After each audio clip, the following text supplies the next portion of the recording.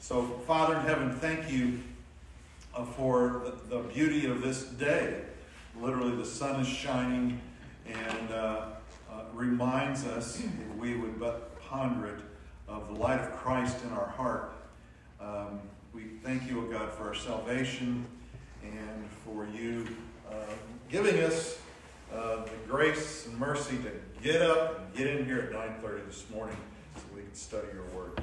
Father, we'd ask that you would make this uh, short 40 minutes profitable for our soul, uh, that it would be a blessing to us, and that it would grow us in our love for Christ and in our, our obedience to him. It's in Christ's name I pray. Amen. Amen. So, administer a book.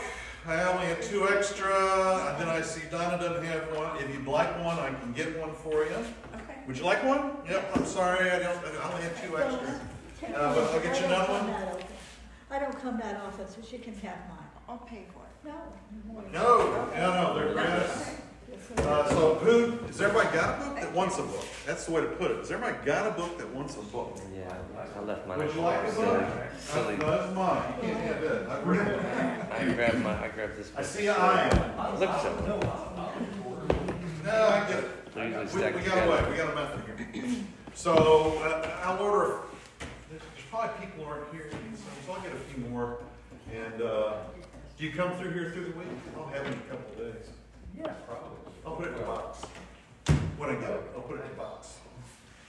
And anybody else. But uh, there you go. So books, you know, they're good. Now today we're on, if you turn to the table of contents, still in the administrative.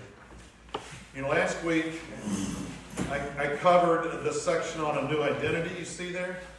You know, so each, each bold heading, a new identity, a righteous standing for God, loved by the Trinity, those are lessons, right? And then there's uh, four or five um, uh, smaller chapters, if you will, uh, that uh, comprise our message or our lesson today. Do you want to look?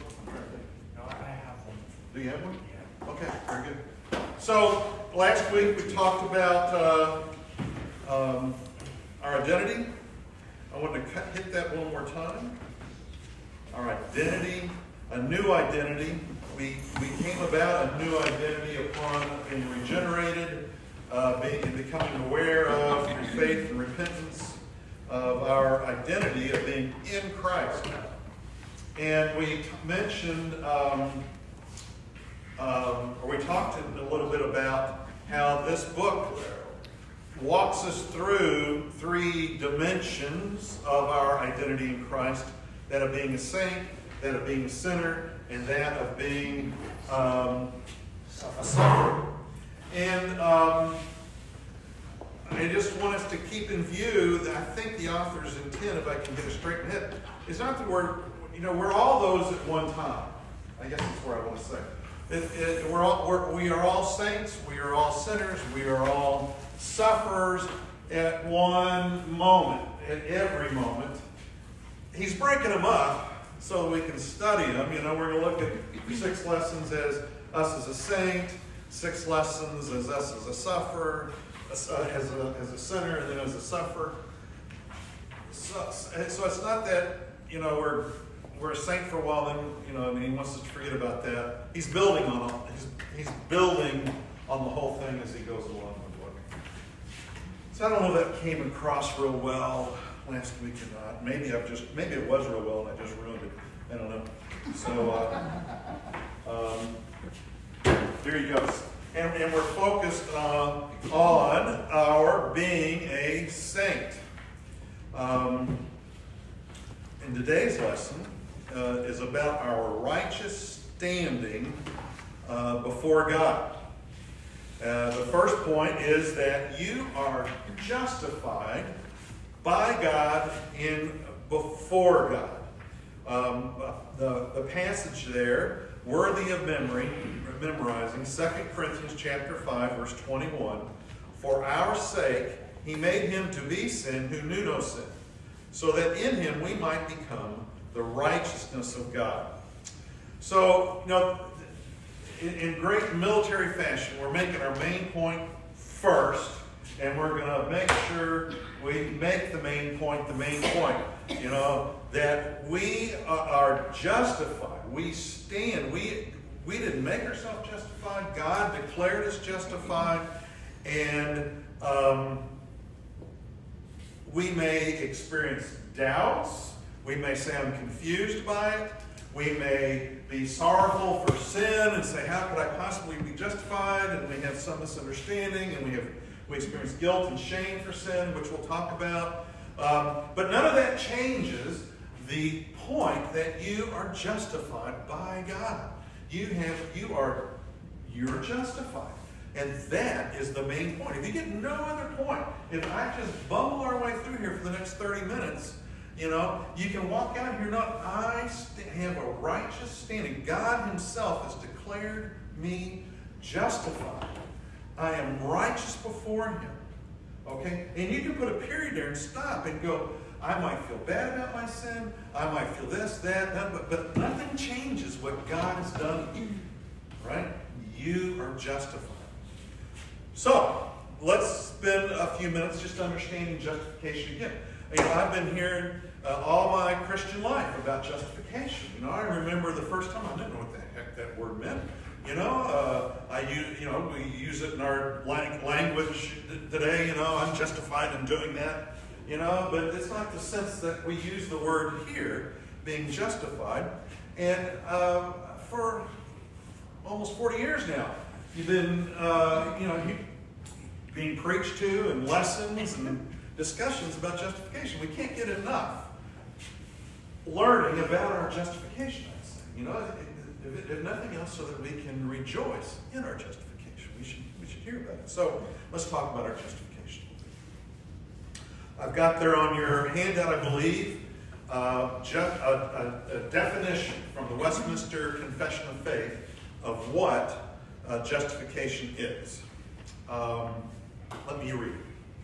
And then we'll, I have a few comments about it to kind of build our foundation for what follows. Uh, those whom God effectually calls, he also freely justifies. Not by infusing, key words here, not by infusing righteousness into them, but by pardoning their sins, by accounting and accepting their persons as righteous, not for anything wrought in them or done by them, but for Christ's sake alone nor by imputing faith itself, the act of believing, or any other evangelical obedience to them as their righteousness, but by imputing the obedience and satisfaction of Christ to them, they receiving and resting on him and his righteousness by faith, which faith they have not of themselves, it is the gift. And we could look to Romans 3.21, if you would, please. Let's just see, how did these guys get to that? Turn to Romans chapter 3. I'll read. Let's get there. Romans chapter 3. This is good stuff. Romans chapter 3, verses 21 through 25. I'll read it. And then I'm going to go to chapter 5, verse 1. Probably many of us here that one. But now the righteousness of God has been manifested apart from the law, although the law and the prophets bear witness to it. The righteousness of God through faith in Jesus Christ for all who believe. For there is no distinction, for all have sinned and fall short of the glory of God, and are justified by his grace as a gift through the redemption that is in Christ Jesus, whom God put forward as a propitiation by his blood to be received by faith. This was to show God's righteousness because in his divine forbearance he had passed over former sins. Amen. And then 5.1, Therefore, since we've been justified by faith, we have peace with God through our Lord Jesus Christ. So we see that justification is a grace. It's a gift of God. We, uh, let, us see what we learn about it from the Confession of Faith. Uh, what, what's the word infusing mean? I didn't look this particular word up, but it says uh, we're, we're, justified not by infusing righteousness into them. What's infusion? Infusing. What, what do we think that might mean? Putting into or filling with? Or... Yeah, Donna, Bruce, yeah. Putting it into him, right? It, like he poured some righteousness into us. And this says, no, I didn't have it. You know, it's we, we didn't get turned into or filled up with righteousness. So we, we, we see that there. Um, um, it, it in fact teaches we're um, justified by because our sins have been pardoned in Christ, right? Um, but for Christ, but we're justified for Christ's sake alone. Um, then we come into this word imputing. What's I did look that one up. Imputing means to ascribe to someone a virtue of a similar quality in another, uh, and it's undeserved in a Christian sense. So, do you see the difference between imputing something and infusing something?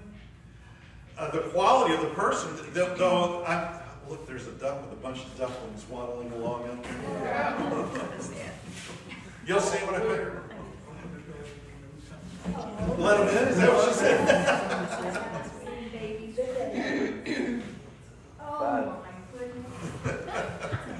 There's a big puddle over there, but she's heading for that. How many. We can probably make a Bible lesson out of that. I. So when I'm imputed, when right, when, when, when something's imputed, I, I kind of think about, though my, what God thinks of me changed, what way He sees me changed, but I didn't change. It was, it was declared. I was declared righteous. It was imputed uh, because it was similar to a quality of someone else, that being Christ. Okay, His righteousness, the righteousness Christ possessed because He was sinless, was imputed, credited is another word we hear, credited to me. But I still did it. I was still a sinful creature, right? But his righteousness has been credited to me, imputed to me. See the difference there? It's not that I became righteous and, and, all, and all that change. It's, it was credited in my account. But at the same time, our sin was imputed to him. Yeah, that's true. It had to go somewhere. And why did it have to go to him? He's perfect. Right. It went to Christ because he's perfect, but there was a reason. God, can you say, no, we're all good here. That sin, I just won't think about it. He did something with that sin. He imputed it to Christ. It Why to did he impute it to Christ? It had to be dealt with, it couldn't just be buried. So Christ could take it and And suffer the punishment for it, the wrath of God for it, because it wouldn't be just. It wouldn't be just for God to just Yeah. overlook that. It had to be dealt with. And he did deal with it in Christ. It was that big exchange, is the way I think about it in my hand. My, right, my, my sin for his righteousness, vice versa. My sin went there, and he carried that. It was imputed to him, like his righteousness was imputed to me. It was imputed to him, and he took it to the cross and suffered God's wrath for. That's some kind of wrath. Okay. So let's look, I think in your worksheet, we talked about upon our justification uh, flow graces. There's things that happen. We're justified, you know, because of faith. Um, and from, from that flow adoption and sanctification. Let's, let, let's, let's look at Ephesians 1 5. And then if someone would look at, uh, be ready to read Romans chapter 6, verses 5 through 7. And then we'll hear Romans chapter 8, verses 16 and 17. And we'll just see which these they're talking about here. But these are the supports for what happens when we're justified. Ephesians 1 5. He predestined us for adoption through Jesus Christ according to the purpose of his will. There we go. There's the idea of adoption being brought, that Paul's introducing, you know.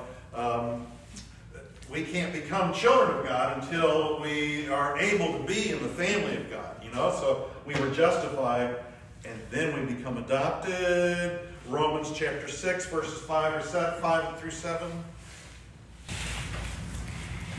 For if we have been united with him in a death like his, we shall certainly be united with him in a resurrection like his. We know that our old self was crucified with him in order that the body of sin might be brought to nothing, so that we would no longer be enslaved to sin. For one who has died has been set free from sin. Hmm. Through what Through 7.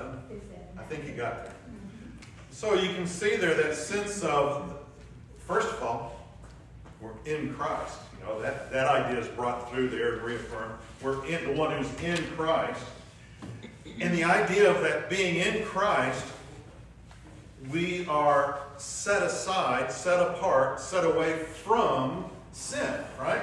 Sanctification. That's the idea. That's what sanctification is. We're being set apart, and and it's that, that process of being conformed to the image of Christ is begun there. Once we've become justified, everything starts flowing out of that. Uh, Romans chapter 8, verses 16 and 17. Spirit himself bears witness with the spirit, with our spirit, that we are the children of God. And if children, then heirs, and heirs of God, and fellow heirs with Christ, provided we suffer with him in order that we may be glorified with him. So we see the whole idea of adoption and sanctification together in that short passage. And you know, the, the Holy Spirit involved. So the, the three passages we've read, we've, you know, God the Father, the Son who, who redeemed us, and we are in involved in our sanctification in the Holy Spirit. It's God, the, the triune God who's working on us, and, and, and I think next week as our lesson, who loves us. Okay, it's not as if God loves us and Jesus doesn't, or something. You know, it's the triune God who's who has saved us and uh, is working in our sanctification, working in concert with each other. Tracking? Okay? And from justification, because we're justified, flow good works. Let's just hammer that on in with these passages. John chapter 15, verse 8. Then someone would read Ephesians chapter 2, verse 10. And then James chapter 2, verse 17. Where we've been saved to something, we've been justified, and from that flow adoption and sanctification. And there's a reason, okay? We're saved to good works. Yeah, that's not the reason. It's all to glorify God with our lives. So, John chapter 15, verse 8. John 15, verse 8. By this my Father is glorified, that you bear much fruit and to prove to be my disciples. Hmm. And our fruit does something too. It proves who we are. It's the outward sign, an outward element, an outward, it shows what's happened on the inside, comes out on the outside, right? Is the fruit. Uh, Ephesians chapter 2, verse 10. For we are his workmanship, created in Christ Jesus for good works, which God prepared beforehand that we should walk in them. Very familiar passage to us. We're saved for a purpose. We're saved in Christ. We're set in Christ for good works that God has predestined. Just like us, He's predestined these good works. And they have a reason to glorify Christ. Uh, James chapter 2, verse 17. So also faith by itself, if it does not have works, is dead. There will be good works that flow out of our life, not because we're good people, but because of Him whom we belong to, because we're justified, we've been adopted into His family, we're being sanctified, and it, it will be natural. It will happen that good works that glorify God will flow out of our life. And we can look at it, and this will, this will come across in many lessons. We can look at our life and be objective and go, well, what are the good works? Are there good works? Is, you know, we can look at that and, and see how we're doing. Or, is, is, is my life worship for, for Christ? You know, am I living my life that way? And it's we can get morbid about that and go, well, I don't see anything, I'm worried, I'm scared. Well, I, I, I think if we would all look at our life, we'd see that there are, for the Christian, there are always good works that will flow from our life. But we, we need to look at it. Okay? My lost, we'll lose everybody there. We getting ready to run out of the room? We good? Sam, you with me? All right. So let's move on. Justification, and that is the main point. We are justified before God. Now we'll peel back a little bit, but if, you check out from this point on, you got the main point. So, because we're justified, because of our righteous standing before God, we are no longer condemned. Romans chapter 8, verses 1 and 2. There is now, there is therefore now no condemnation for those who are in Christ Jesus. You could put a period there. Well, the Lord did put a period there. We are not condemned. All right? There is therefore now no condemnation for those who are in Christ Jesus. And we are in Christ Jesus. We are in Him. It's mystical. It's kind of hard for us to grasp, but we are in Him. There is no condemnation for us. For the law of Spirit of life has set you free in Christ Jesus from the law of sin and death. Now, so there's no condemnation, and we, as, as should be common for us, we, we, we look at our life and go, well, great, I'm justified, uh, I'm adopted into the, into the family of God, I'm supposed to be getting sanctified, being conformed to the image of Christ. But when I look at my life, I see sin. I see where I've fallen short. I see where, wow, I'm not, I, I am not measuring up. When I, when I compare myself and my life to, to this person, uh, I, I, I don't see how this is working out. That maybe I'm not a Christian. We wrestle with sin a lot, I. I bet you, I hope that all of us here look introspectively and we wrestle uh, with sin. And I think that's a common, I don't think it's a bad thing for us to look and see sin in our life and go, uh oh, I don't like that. I, I want that to go away. I think it's common. Is that right? Yeah? Um, what, why is that? Well, for one, Satan accuses us. Satan gets up in our ear and accuses us of sin, saying, Look at yourself. You call yourself a Christian. Um, we could think about Job's experience in chapter 1. You know, he describes him uh, as uh, righteous before God, and Satan pranced on up to God and said, Look at this guy. Man, you turn your back on him, he'll throw you out with bathwater. You know? Uh, he, Satan is, a, is our accuser. Revelations chapter 12, verse 10, if you were to turn there, it describes Satan as our accuser. And he accuses us before God. He accuses us to ourselves. You know, when, when, you, when you do that, look inside your, your spirit, your heart, and to see, well, wow, I can't believe I did that. You know? And Satan is telling you, yeah, you did. That's pretty cool. You know, I'm making your life miserable right now. You know, I always like to remind us, the, the battle's won. Christ is victorious over sin. We are in Christ. The victory's won. But Satan wants, while we're on earth, to make us as miserable Christian, as much a miserable Christian as he can. Right? He wants us to walk around sad. He wants us to walk around feeling guilty. He wants us to be bitter, to be angry with each other, to have the fingers out. He wants to make us miserable Christians because we forget, right? And then we know Satan tempts us to sin. Uh, we know we are capable to justify our sins, to try in our own effort to make them go away. Well, I had every reason to get angry with her. You know, it's okay. You know, she deserved that. So what am I doing there? I'm trying to make sin go away, right? I don't, I don't want to think about that anymore, right? Uh, so we're trying to justify. So there's there's all manner of way that we wrestle with sin in our life. And what's what's as we wrestle with sin, what's a common emotion or feeling that you get when you ponder your own sin? What do you? I heard something. Anger. We could get to anger. I'm looking for another answer, but we could get to anger. We often do. Despair, despair. Despair, yeah. Bitterness. Shame. Right? Now we're right where Satan wants us. Right? When we are, we look in our and we say, man, I am, I'm just falling short. I'm Pat over there. I can't, I can't, I'm never going to be a good a Christian as him. And man, that just chaps me. You know, he's got it easy. He doesn't, he doesn't know how hard I've got it. It's not fair. You know, and, and what happened? I become bitter. And I get angry. I get angry. Pat, he didn't know what he did. I'm just angry. You know? and, and, and I become envious. It's coveting, right? I'm envious of what he's got and his calm and Christian demeanor.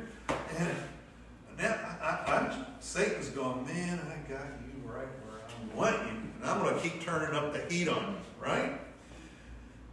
We can wallow, and we often do wallow in our shame and sin.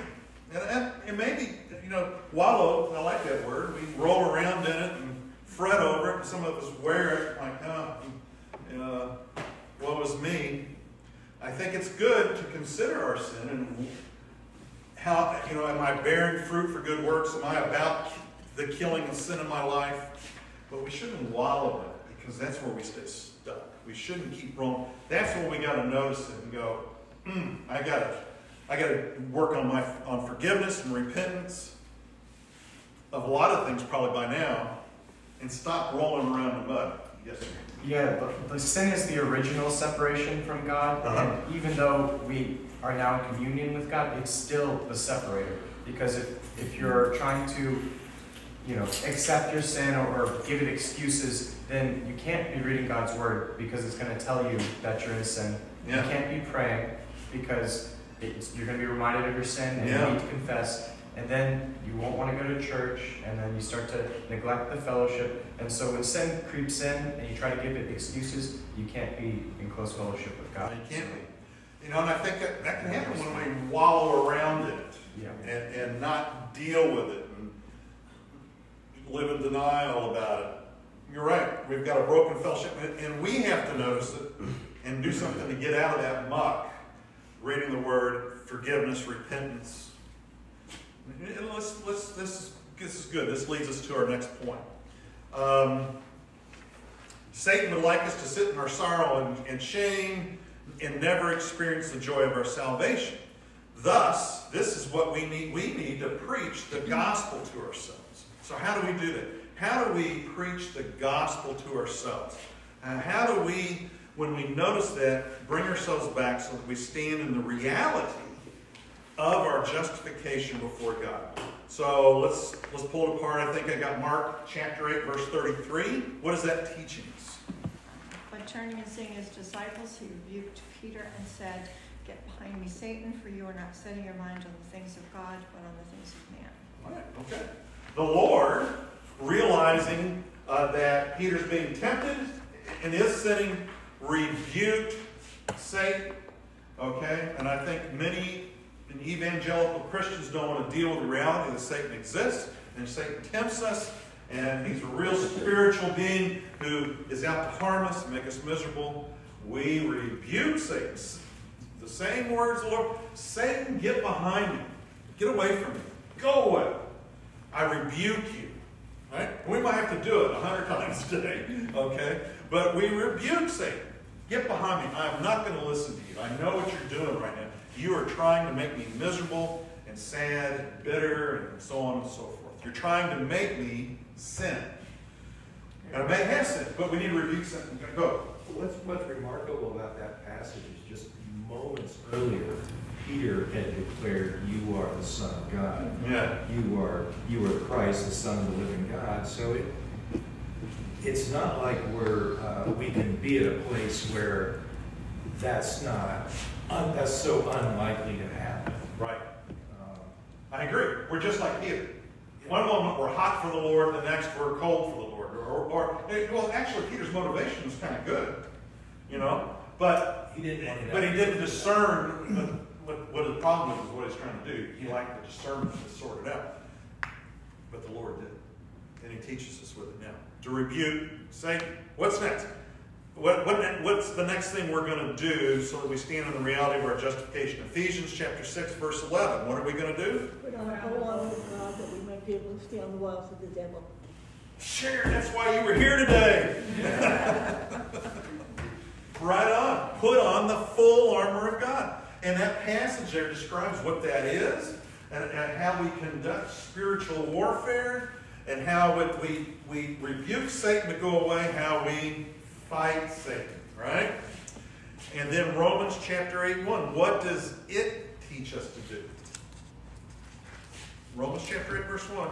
There is, there's no, there, there is, therefore, no condemnation for those who are in Jesus Christ. And when you're stuck in, in, in the miserableness of your sin and wonder, how could I have done that? Or something from your past comes back to your memory. How could I have done that? Or how could I do that again? This sin I thought I killed and moved on from, I just did again. Woe is me. Rebuke Satan. Put on the full armor of God and preach this verse to yourself. I am in Christ. There is no condemnation for those who are in Christ Jesus. And stand in it. Okay. I might feel bad. Well, that's on me. I need to move away from that, right? I am justified before God. Right? As a child of God. He loves me. All right. So, let's. Um, you know, last point, uh, there's consequences for sin. I want to speed up the clock here. There's consequences for sin, as we've all learned by now, I hope. There are consequences for sin. There's no punishment for sin. Right? We're clear on that here? The punishment was wrought on the Lord Jesus Christ upon that cross. The punishment for your sin, my sin, our sin, imputed to Christ, and Christ suffered the punishment for that sin. We don't get punished anymore. We do get corrected. We will endure discipline. The Lord will redirect us away from it. He'll work in our life to stop it and to kill it with us. So we shouldn't just accept sin. Sometimes, well, I'll never do that again. Well, they deserved it, or whatever. You know, sometimes we don't take it serious enough. So that's, you know, that's a step I'd add there. There's consequences for sin, uh, never punishment. Um, consequences like death, broken relationships, uh, broken relationship with God, broken relationships with family. There's depression. There's anxiety. There's all kinds of consequences for sin. Uh, so we shouldn't, when we see it, we shouldn't just roll past it and go, well, I won't do that. I'll be okay. Gotta get in there and kill that bad boy and deal with it uh, like we've just talked about and seek forgiveness and, and repent. And when we get to the part of, of our lessons about being a sinner, we're going to really pull apart repentance some. But that, that, we don't, I just want to make that point. It's easy for us to just, I did that, but it's okay. No. Jot that down, come back to it in your prayer life that night, that morning, whenever it is, and confess it. Work it out. Repent. I, I'm, not only am I going to do it, I'm going to I'm going to make sure that dude's got a, the sword of the Spirit in it, man. Kill that, right? Good? You, uh, we are unashamed in God's presence. Just real quick, because I got some good points I'd like to make at the end here. We we, don't need to feel ashamed in God's presence. Psalm 34 5. Those who look to him are radiant, and their faces shall never be ashamed. I, when I feel shame before God, and we will, when you say shame, shame probably appropriate there, you know, but there is no condemnation for those who are in Christ Jesus. I need to put that away. Uh, Hebrews chapter 2, verse 11. For he who sanctifies and those who are sanctified all have one source. That is why he is not ashamed to call them brothers. God is not ashamed of us. We shouldn't be ashamed of ourselves, right? Christians, we've all got skeletons in our closets. Uh, we remember usually where we put them and we feel shame. We should know, God knows where we put them too. It's not a secret. All right? Confess it. Repent. Let's move away from that, right? Let's move away from that shame. Um, I think I've got some passages there for you to look at on your own so that we can move forward a little bit uh, about our sin. Uh, but one thing I want to point out is there can be a good outcome from sin. Or uh, from, from shame, sin and shame. There can be a good outcome. Growth. What could it be? Uh, Romans chapter 2, verse 4. Someone read that. Romans chapter 2, verse 4. Or do you presume on the riches of his kindness and forbearance and patience, not knowing that God's kindness is meant to lead you to repentance? Out of our sin comes repentance.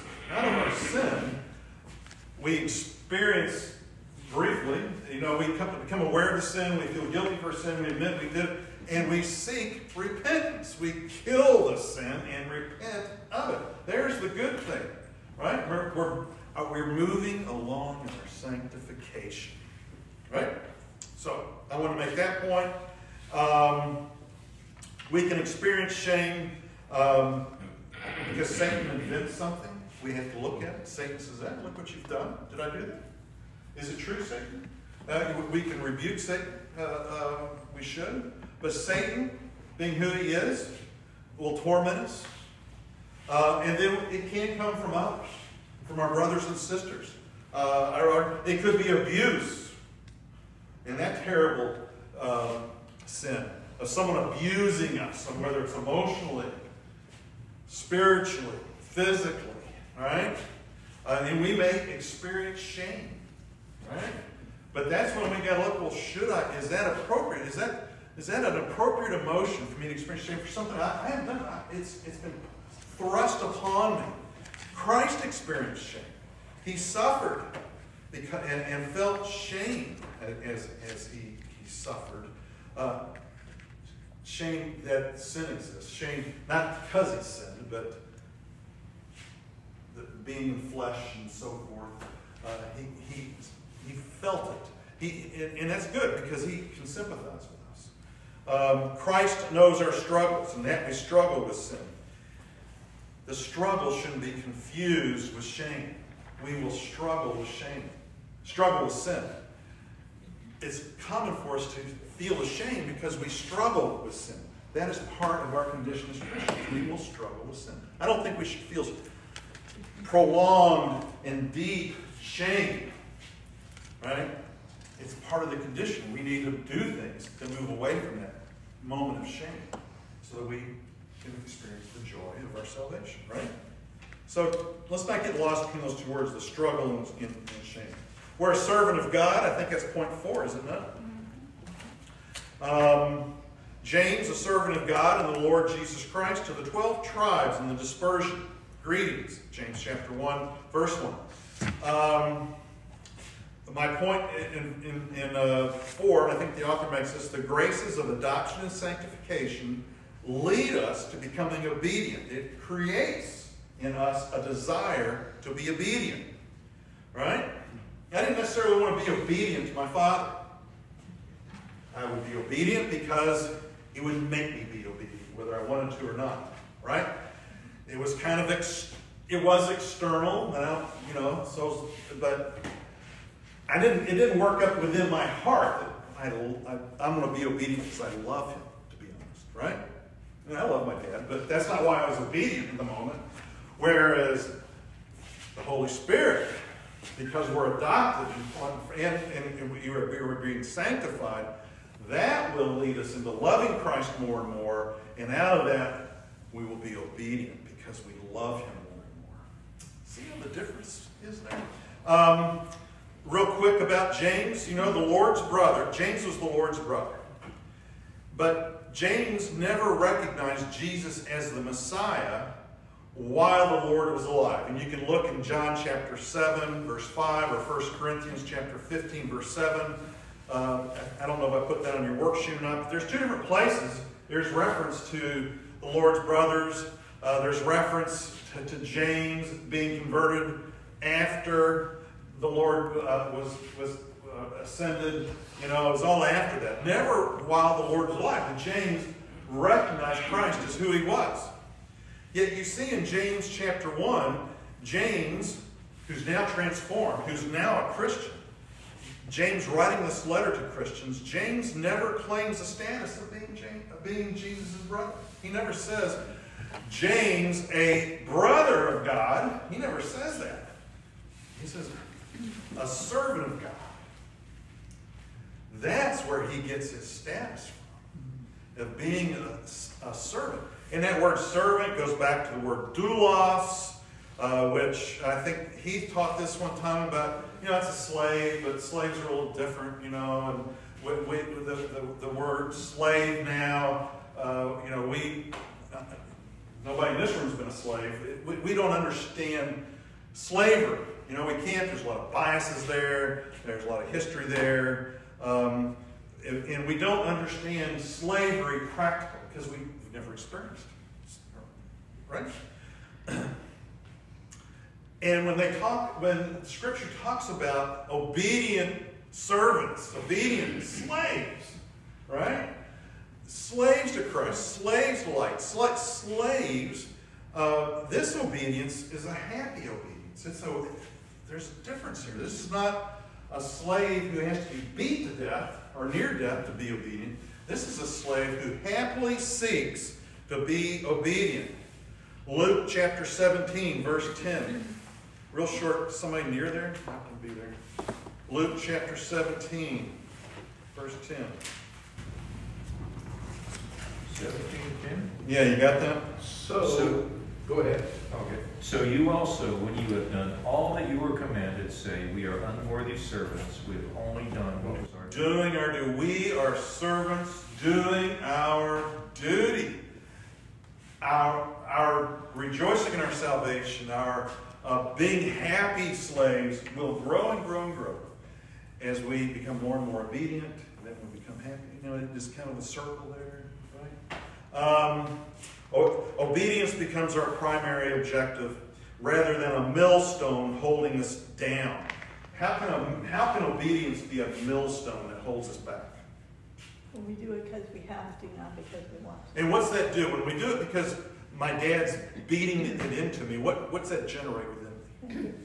Huh? Anger. Anger. What else? Resentment. Resentment. Uh, contempt. Yeah, contempt, bitterness, envy, all those things, right? And that's the law. And, well, very good point. And that's what the law does. That doggone law, man, it's beating it into me, right? Um, yeah, millstone. uh, That millstone of obedience can hold us back uh, and, and lead us. And, and there's Satan again. See that doggone Jesus making you go to church on Sunday. You could be be going to the Rays game at one o'clock, you know, with everybody else. You know. I hate them. Did I see how it works out? All right. Point five. We already possess every spiritual blessing. Ephesians chapter 1, verse 3. And let's use let's quickly use this one to send us off into worship. Blessed be the God and Father of our Lord Jesus Christ, who has blessed us in Christ with every spiritual blessing in the heavenly places. Spiritual blessings are ours here on earth, right? We enjoy spiritual blessings, material blessings. There's lots of blessings that we enjoy here on earth.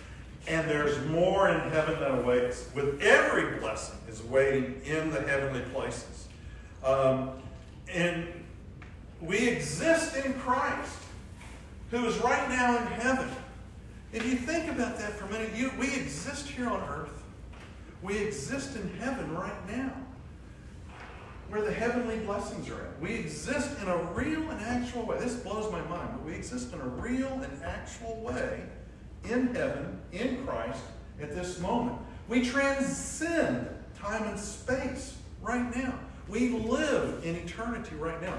Our minds can't grasp all that. One day it will. We'll see it. Oh, that was, that's a blessing, right? Uh, right now it's hard for us, but we should try to wrestle that with it. Wow. I exist in a real and practical way in Christ, in heaven, beyond space and time, right now. What does that mean? What does that mean for me? Hmm. He understands us. We're blessed physically, we're blessed materially. He meets our biggest needs. Um, doesn't that give us meaning about it? Doesn't that give your life some meaning that I'm, I'm on this earth, passing through, on to, on to heaven where, where I will be with my Maker. Life's hard and it comes at us hard, but boy, it seems to, I, I, I will make it through this when we think about it, despite the suffering we have to go through. Right? We exist in Christ. You, you, that comes through so many places in Scripture. Ephesians chapter 1, verse 4, 7, 13. Look at those on your own. Colossians 1, 17. All right. We have a righteous standing before God. We are justified. And because of the real and practical blessings that flow to us, we are children of God. We have a status. We have meaning. We have purpose on earth in, in eternity because we belong to God, right? And we, in all things are held together by Christ, even us, right? We have status. We're freed from slavery to sin and have become slaves, doulos, slaves of righteousness. That's Romans 6, verse 18. I didn't invent that. The Lord did. Right? We, the Lord declared that in His Word. We're no longer slaves of sin, but slaves of righteousness. Thus, because of that, no longer have a reason to feel shame. Right? We, we will experience it, but we don't wallow in it, we move from it. Follow me? All right, if I erred here, is that comments, questions, criticisms? We need to get out of here. I gotta go lead worship. We need to refresh ourselves and uh, so forth. All right? So next week, for those with the book, we look at loved by the Trinity. I, I remember that correctly. We are loved by the Trinity. And we'll talk about that next week. So read through those uh, short chapters uh, in there the coming week. Okay? Let me pray so we can go. Father in heaven,